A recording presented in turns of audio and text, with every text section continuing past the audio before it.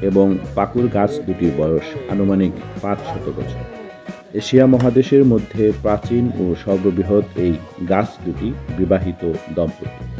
প্রায় পাঁচ বিঘা জায়গা জুড়ে এদের বিস্তৃতি। উচ্চতা আনুমানিক তিনশত ফুট বর্তমানে গাছ দুটির শাখা পোশাখা রয়েছে প্রায় চল্লিশটির অধিক। গাছ দুটি সম্পর্কে রয়েছে নানা গল্প।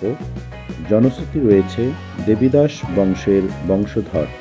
মোহন দেবীদাস নামের এক ব্যক্তি এই গাছ দুটি এনে রোপণ করেন এবং সনাতন ধর্মের রীতি অনুযায়ী বট গাছটি নারী এবং পাকুর গাছটি পুরুষ হিসেবে তাদের বিয়ে সম্পন্ন করা হয়। অনেক বাদ্যবাজনা বাজিয়ে এই বিয়ে হয় বলে জানান স্থানীয় এলাকাবাসীরা। ঐতিহাসিক এই বটপাকুর গাছ দুটি দেখতে দেশের বিভিন্ন জেলা উপজেলা থেকে লোকজন ছুটে আসেন। প্রকৃতিপ্রেমীরা এই গাছের নিচে বসে মনে শান্তি খুঁজে পান। ছায়া ঘেরা সবুজ, নির্মল বাতাসে হারিয়ে যেতে অনেকেই সপরিবারে ঘুরতে আসেন এখানে। আসছি এখানে ফ্যামিলি নিয়ে একটু ঘুরতে আসছি। আশেপাশের মধ্যে এটা চিত্ত বিনোদনের ভালো জায়গা। অনেক বিখ্যাত, পাঁচশো বছরের পুরাতন, এটা দেখার জন্য আসছি। হোসেন, আমি কালিয়াপুর থেকে আসছি, আমি আমার সপরিবার আসছি, আমার গ্রামের বাড়ি ফজুল্লাপুর এখানে আমি যতটুকু জেনেছি পার্শ্ববর্তী এলাকার মানুষের সাথে, যেটা পাঁচশো পাঁচশো বছর পুরাতন একটা গাছ, এটা অনেক সমৃদ্ধ।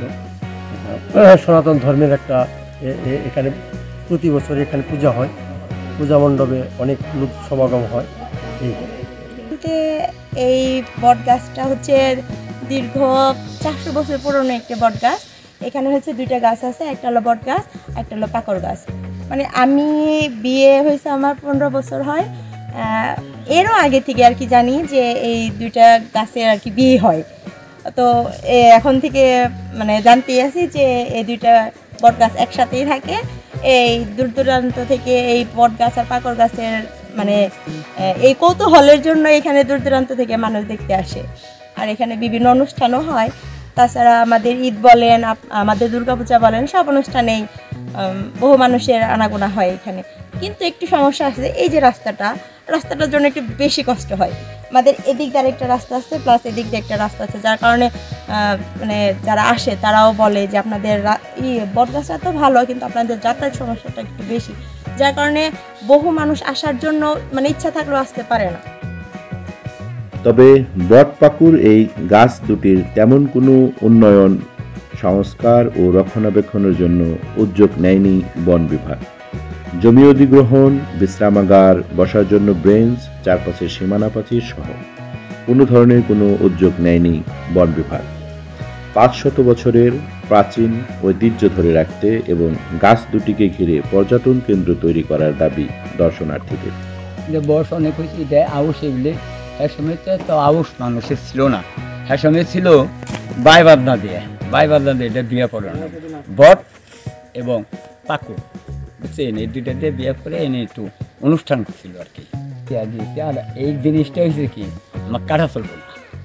বুঝছেন? এই এইটা ওই দিক দিয়ে ভাবে যে মানে সে যদি রাস্তায় এই দিক দিয়ে যায়, তাহলে ওই খাদ্য দিয়ে নেব। কিন্তু তবু এটা আমাকে কাটা চলবে ঢাকার ধামরাইয়ের যাদবপুর ইউনিয়নের ষাটটা গ্রামে অবস্থিত এই বটপাকুর গাছ দুটি।